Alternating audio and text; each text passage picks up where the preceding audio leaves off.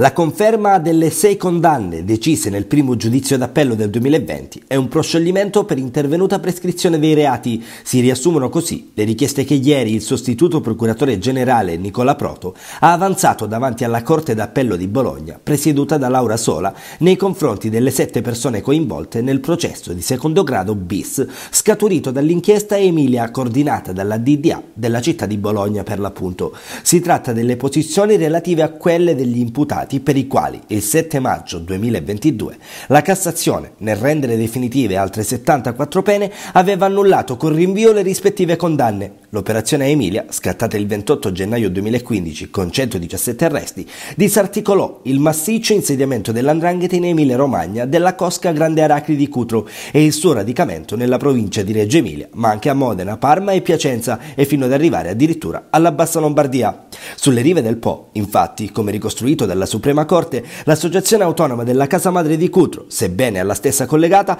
per oltre un decennio ha contato sulla disponibilità di uomini capaci di rendersi autori di molteplici reati, dalle estorsioni all'usura, dai danneggiamenti alle intestazioni di fi- fittizie di beni e società, al rimpiego di denaro di provenienza illecita.